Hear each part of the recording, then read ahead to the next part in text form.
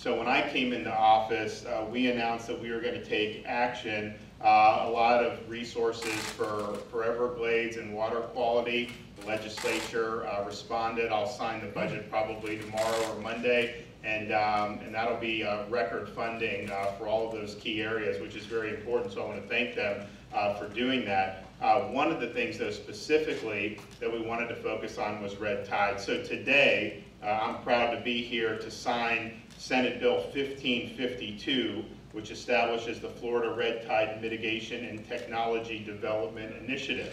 It's a partnership between the Fish and Wildlife Research Institute within FWC and Mote Marine Laboratory uh, will lead the development of the innovative technologies and approaches needed to control and mitigate red tide. The initiative will build upon the longtime partnership between FWRI and Mote in the area of red tide research. The bill provides $18 million uh, over the next six years to develop, test, and implement innovative, effective, and environmentally sustainable technologies and approaches for controlling and mitigating the impacts of red tide.